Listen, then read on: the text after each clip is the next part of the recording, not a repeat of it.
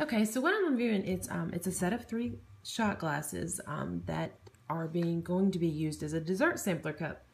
Um, so you can see that they're all the same shape here. They're very thick. It's very, very thick glasses. These are very nicely made shot glasses, um, turned dessert cups. But I could see, I could totally see that. You could just take three of your different favorite kinds of desserts. Uh, like say you do strawberry shortcake and a brownie, maybe some kind of cheesecake in the other one. And all you have to do is just like make all different little trios for everybody. You'd have to have more glasses, but I mean, you could make something really cute with these. Um, I would suggest, though they are really small um, on the top, which other shot glasses supposed to be. I mean, that's my pen. So I would I would think you would need to buy the special spoons, the real skinny ones. Um, you know, unless it was more of a like you could just kind of gulp it down real quick. Not not like a Jello shot, but but that you could um.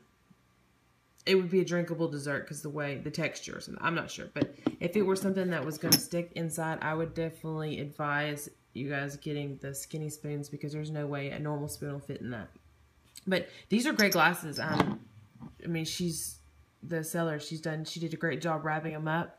Um, it took me forever to, to cut the bubble wrap off of them, but they're. I mean, they're great. So I wish I had a bigger one and I'd use it as a vase. That's how good they are.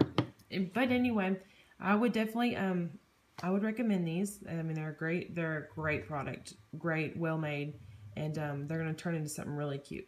Have a good night.